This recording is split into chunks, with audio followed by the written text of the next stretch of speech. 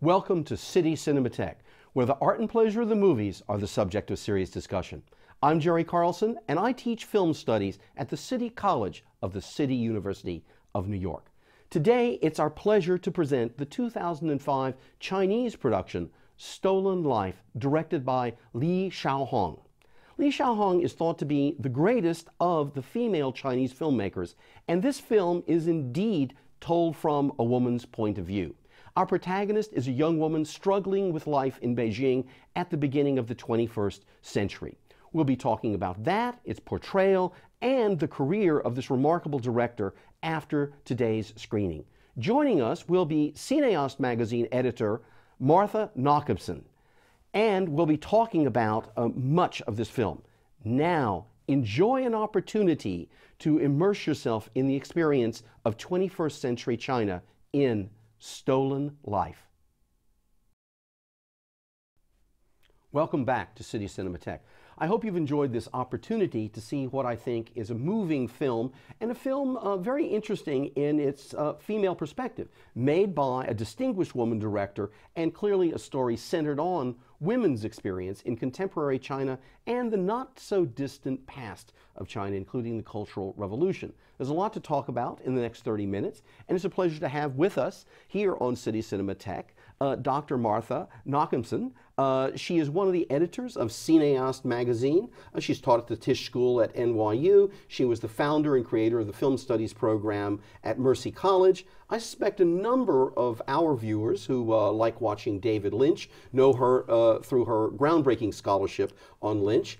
Uh, that's not her only field of interest, with five books behind her. Uh, most recently, she's published uh, World on Film, which includes uh, two major sections on uh, Chinese uh, cinemas. And she's published on Chinese cinema before in her book on gangster movies, comparison of, New, of America and Hong Kong. Welcome to City Cinematheque, Martha. Hi, Jerry. It's nice to be here. Great. Let's let's talk about Li Shaohong, the director of this film. Okay. Now, insofar as there are household names of Chinese film directors, most prominently probably Zhang Yimou, who everybody knows from his films, and also the fact that he did the Olympic ceremonies, right. about as big an audience as you can you can have. right. He's as close as you come to a household name, right. and she. Well, our filmmaker today is of the same generation. We'll talk about that, but she's not so well known. So fill us in a little bit. Li Shaohong where does she fit? Who is she? Yeah, who right. is she? Who is Li Shaohong? Good question, who is Li Shaohong? She may be asking it herself because she spans generations in an interesting way, and I am not aware of other Ch Chinese directors who do. Born in 1955, she is of the generation of, uh, I don't pronounce this as well as you do, Zhang Yimou and uh, Chen Kaige, uh, one born in 51, one born in 52. Um, and uh, she should have been a part of their generation. Um, having uh, broken well, the silence on, Chi on Chinese tradition and history uh, after the terrible Red Guard period in China.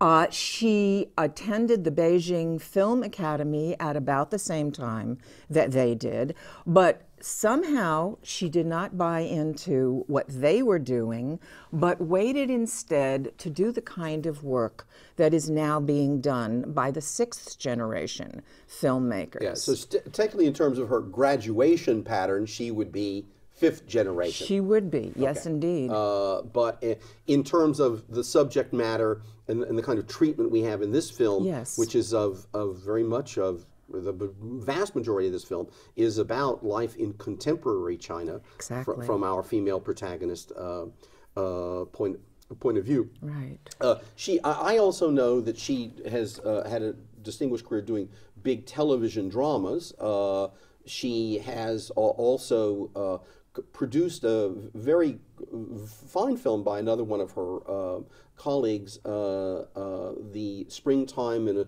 in a, in a small town uh, by Tian Zhuangzhuang, who people know from The Blue Kite and Horse Thief. Which is very interesting because almost the last movie that was made before uh, the communists, you know, cramped down on filmmaking was Springtime in a, in a Chinese village or a small village, excuse me, in 1948. So this is a remake of a classic, and, and it has uh, more poignancy to it because uh, that was, I guess, what would be referred to as almost fourth generation, maybe you know just on the boundary. And she's now doing it again, and so it's it's a very important thing she's doing. Uh, I, I'm, I'm, in com- I'm in complete agreement with you uh, uh, uh, about that. Now, uh, let's, let's talk a little bit about uh, what distinguishes this film as this tradition of sixth generation realism. Yes. And, and, and what is that, from, from your point of view, what does that, what does that mean that these, that, that she, what does realism mean in this film? What, what, what, what sense is this a realism? Exactly. Um, okay. The Chinese communists, who were in fact very interested in film and began the Beijing uh, Film Academy in 1956, insisted on realistic filmmaking. But what did they mean? They meant dogma. They meant show the people the way it really is um, which means it fits in with what Chinese dogma says. Okay. Uh, when the fifth generation comes along, they can't they can't be in your face about saying no, no, no. So they go to gorgeous oldie timey China, which is a great big move because, as we all know, the Red Guard um, punished very cruelly uh, and savagely anybody who referred to the old traditions. So they make a little headway. Oh, gotcha. Not by going to a new kind of realism, but by bringing back the beauty of old Chinese culture, which was a very radical thing to do. Okay. But the sixth generation doesn't want to do that anymore. What they want is to show realism piercing the dogma. So it's kind of socialist realism turned inside out. Yeah, absolutely. So that's that's. Uh, uh, uh, let me just do a little bit of a, a riff on, on socialist on socialist realism because uh, because it's one of these peculiar things with the spread of the communist world after the Bolshevik revo- revolution that by if you go back to the Soviet Union, socialist realism becomes official state policy uh, for the arts in 1934. And so then after World War II, with the spread of uh, Soviet influenced communist states, the, the, the Eastern Europe, and then and then China after 1949, the Soviets did their very best to export socialist realism, the official uh, dogma. And certainly uh, the, the, the period of the uh, 50s leading up to this, the Cultural Revolution of the 60s is when the Chinese are embracing and making, you have to say, even more dogmatically a Totally, a, a totally. certain form of socialist realism, Yes. which, as you've already suggested, in many ways messes with the concept of realism as we understand it. Yes. Um, because uh, uh, because it is it is reality as always filtered through party doctrine and party concept of today and and and, and, tomorrow. Precisely. And there's always a happy ending if you do the right thing as far as the dogma is concerned, and a tragic ending if you go against uh, Right. uh, communist dogma, but not because you will be repressed, but because you're you're violating reality. Okay, so the sixth generation is not into hooray happy endings, Right. uh, and not into the tragedy of not being a good communist. Right. Um, and um, that's where she comes in, Right. Uh, in, a, in a really interesting way. Right, absolutely. And, and let, let's just bring up one other um, uh, filmmaker, a, a filmmaker that you and I have an enormous admiration Yes. for, for, and that is not part of the particular series I'm showing here. I hope to do something about his work in the future here on the show. But uh, Jia Zhangke, who is the filmmaker people may know better by his the names of his films Yes. rather than by um, uh, his own name, is the maker of, of, of Platform, The World, Unknown Pleasures, Still Life, um, 24, 24 City. Uh, and he's uh, someone who is illustrates just as this film does Yes. uh, this, this notion that, well, what, what's really happening right now? Do, do we have, as I think this film does from, from the point of view of our um, young female protagonist, what are the contradictions of today itself? Uh, right. With, with a candid appraisal of what the influence of the past and the immediate past is over, over, over this. Um, so that uh, he in uh, he in the world will take something like an amusement park in Beijing. Wonderful movie. Absolutely, and we highly recommend it to everybody in the We world. do, we do. We do. Uh, you know, it's like an amusement park that duplicates this uh, simulacrum of the world, and yet everybody who runs it is an immigrant who's come to seek their fortune. Um, and so we get to know the conditions that make the illusion of modernity um, possible. Right. And, and that's echoed in this film with something like uh, this uh, uh, visually, this contrast between the, the mall where she's working as the clerk uh, and that, and then this underground labyrinth where she and the boyfriend are, um, are, are, are, are, are living. That's right. Yeah. So what do you what do you make of our protagonist? I mean, why do you think why do you think this she is an important protagonist for our director and I think for us because we come to you know Um, I'm going to call her Yanni. That how sounds would so- how would you say it? uh, uh, do I'm well. no authority on this. Uh, Yanni. I mean, Okay, so okay, so we have Yanni, and we have her as the protagonist in a movie called Stolen Life. So, what are we talking about? How has life been stolen? Whose life has been stolen? And it turns out everybody's life has been stolen. I think it's a very wise comment. Go on. You know, she's at the center of it. She's the one we care about. We watch her um, making all kinds of wonderful, wonderfully articulated decisions. And why is this interesting? Why is it important? Uh, because of the position of girl children in China, traditionally, and even under communism. Um, and we have here a story about a girl child. There's a point where her mother said, I wanted to abort you. This will, I mean, this will have resonance all over the right. Chinese public because we know how many Chinese girl babies are disappeared one way or another. Right.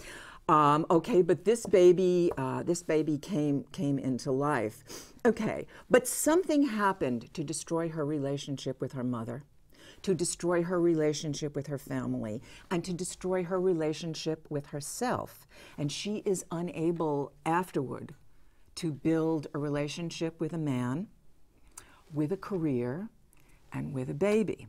Okay, her life has been stolen.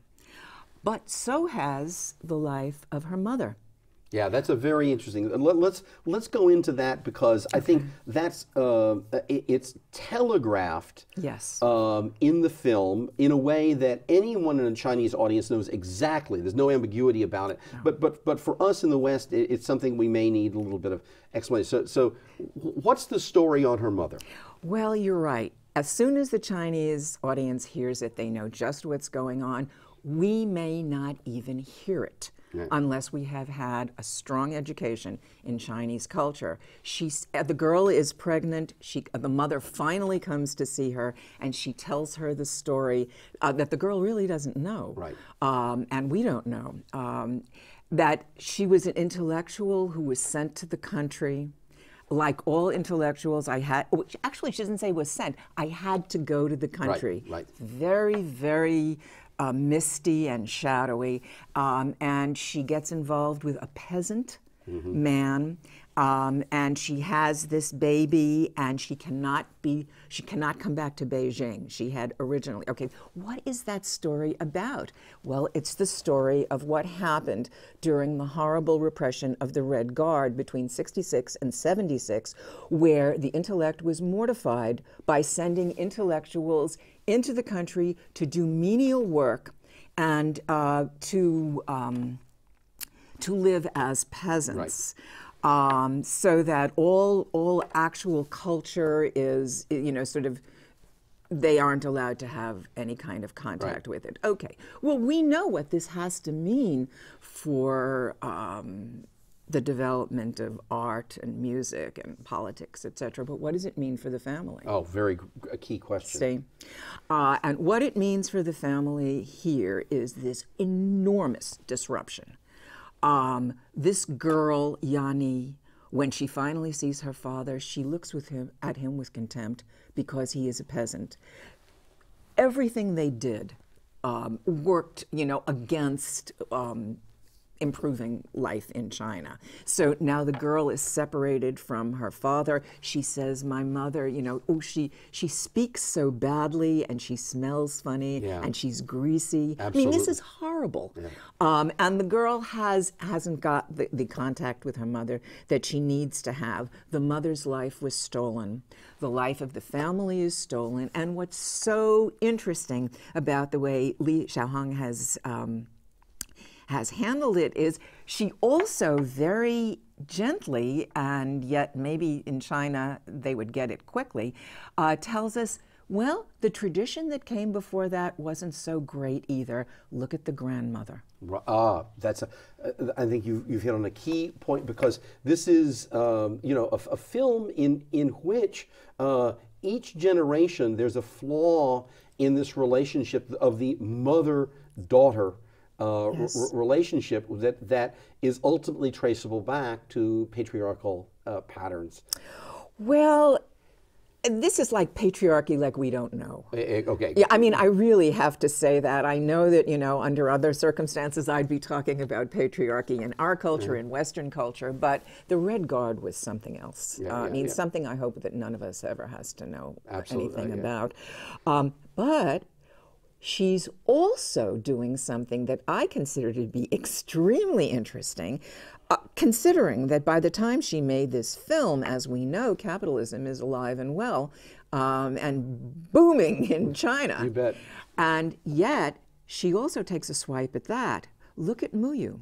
Oh, abs- he is a parody of a, of a capitalist. I, I think that I think that is as precise a description of Muyu as could be offered, and I, I think it's a very interesting thing that you that we have two, as it were, confession scenes. Um, Yes. uh, the mother talking about her past Yes. and the key events that that, that that exiled her to the countryside, kept her kept her there, and stole her life. And then we have, uh, you know, he comes home drunk, etc. She confronts him with the evidence, and then all of a sudden he goes from drunk into the arrogant man who shows that no, I've been controlling all of this. And uh, he confronts in, in this manner that you suggest so well with that with that brief phrase that he's the he's the person running the show according to the new principles of this uh, of this of Well the said, society, well the wealth said. that I can become. This is the place where I can become who I want to become if I'm smart enough to manipulate people and to make and to and, and to make money and the degree to which the society he says and you thought you were somebody special because you were You- you, you were going to be at the university but look who outsmarted you and look who now outsmarted you in terms of seducing you, outsmarted you in terms of your legal status because you, there's no charge that you can bring against me, and who's yeah. holding the money. and who's holding the money. And yet, there's a second layer. That's gorgeous, Jerry. There's a second layer under it. His life was stolen too. Oh, He's an orphan. absolutely correct. We have no idea, and I I love that we have no idea. Yeah, yeah. How did this happen? But so many things did happen in the period in which it, was he another victim of the Red Guard somehow? Did they kill his parents because Perhaps, of yeah, something? You know, uh, did they rusticate them? And you know, is this what happened? And this other wonderful thing, he grew up with people who grew vegetables in the con- in the country. That's all we know. I mean, she said, "Oh, you told me, you know, that that Yeah, your parents yeah. were." He says, "Well, I did, but they weren't my real parents." But here we have, I mean, because she's braiding everything so beautifully together. Um, people who grew vegetables in the country were, according to the Red Guard, the most important, best kind of people that possibly could be. He grew up with them, and how good was that?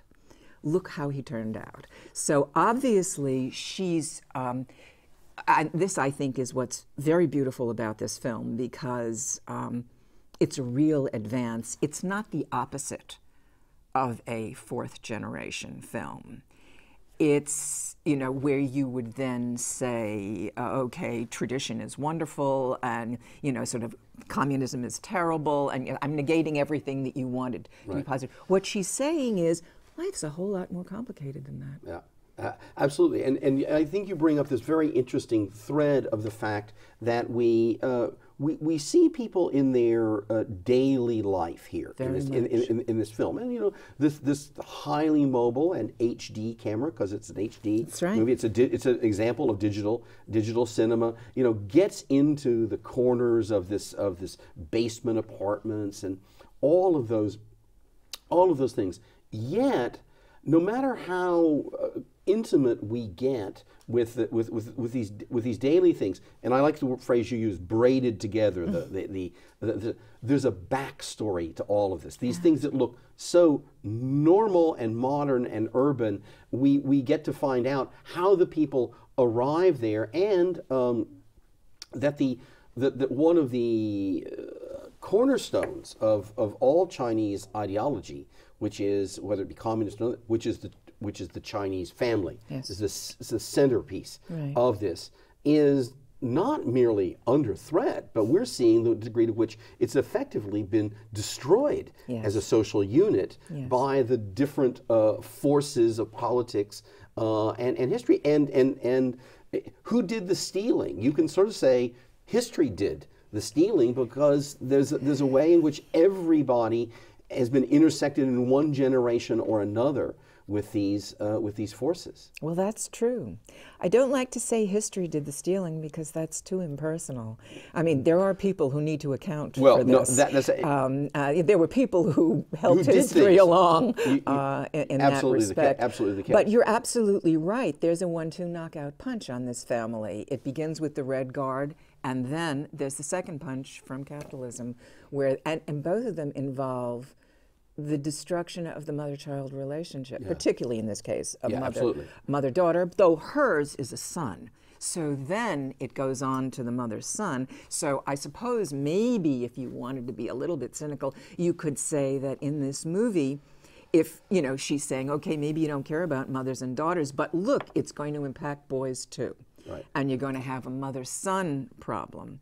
Um, um, yeah. well, one of the things I'm, uh, we, we, haven't touched on, and I, would like to touch on uh, now just for a bit, is I'm going to bring up another genre in addition to the, the, the realist principles okay. sort of truth telling about history, because, you know, in its own way, you can relate this film uh, to film, film noir. You Be, think? Uh, well, I think you've got the voiceover narration, and then okay. you've got, uh, and then you've got the story which, which we eventually learn is, is a confessional story being told uh, at, at, the end, which is about the seduction, betrayal, and legal sacking of someone's life, with the, with, with the, the difference that, of course, this is a um, its own coming of age story. That at the end, she has a lucidity yeah. about what has happened to her, yeah. and now she is re uh, is she is uh, re-engaging. But that kind of you know uh, again the plotting with these trapdoor structures of how we're we're we're we're you know we're trapped with her, and uh, you know as uh, uh, how shall I put it as Barbara Stanwyck is to um, um, Fred Fred MacMurray, so Mumu is to Yanni uh, in that he, That's he, really he, interesting. He, he's a, no, he, but he's a serial seducer. Definitely. Uh, and and uh, uh, and there's a backstory there that's eventually so. You know, I, I, I think on the one hand, you know, realism should be the thing that we're we're emphasizing here, unquestionably. But yeah, this is very interesting. However, yeah, I was thinking too about is this genre? You know, is oh, this genre? yeah. You know, is there genre here? Because well, I that's mean, a very good question. Um, Hong Kong uh, Chinese films yeah. are heavily into genre, uh, which they use with enormous imagination. You know, I mean, they take Hollywood genres and they explode them fabulously. So you have to think about genre in terms of right. Chinese movies, even if you're thinking about what, you know, sort of the government idea about realism is. I'm thinking melodrama. Well, I think I, I, think these it, it's this is the kind of very rich. Again, I'm going to use your word braided film in which there's this you know not only the braiding of, of character character qualities or, or, or, of plot, but there's a way in which, you know, this is a, a film that she wants to have compelling and accessible. And one of the ways of doing that is by accessing the traditions of genre uh, yes. uh, that people are, and, and cr- crime film and melodrama, uh, though they have a, a, a, a, bit of a different shape in Chinese f- film sure. history, of course, yeah. but nonetheless have a shape, you know, there. And I think she she uh, you know references them as as as uh, as a way of bringing us into this uh, really very compelling story world of the of the film. I think that's really very interesting, and I guess you could play around with the uh, with the idea that instead of the femme fatale, you have the homme fatale. well, you know that that is that is a, a, a great thing, and I tell you what, I'm going to leave this as something that our spectators should think about uh, about the homme fatale on, the, on, this because we've reached uh, the the end uh, of, of, of our talk. Okay. Uh, if you uh, enjoyed what we were doing here today uh, on City Cinematheque, uh, please visit our website at www.cuny.tv.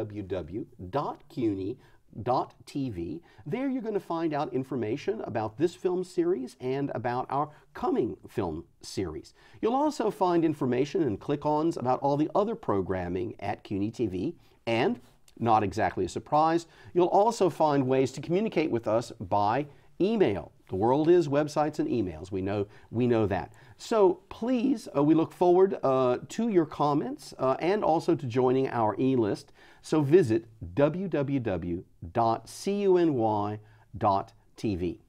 Uh, Martha, thanks for joining us here today, uh, for bringing uh, your interpretive powers, your ideas. It's been a lot of fun, and I hope um, people will still keep thinking about what we've been talking about because this is a very rich film. I think we've unlocked a little bit of it, and I want to thank you for helping me do so. I had a wonderful time. Thank you so much, Jerry. Great. Look forward to seeing you here again. Okay. and uh, I hope you'll, you'll, tune in again here on City Cinematheque as we stroll through the archives of world film history. In any case, I want to thank you for joining us today. Bye bye for now.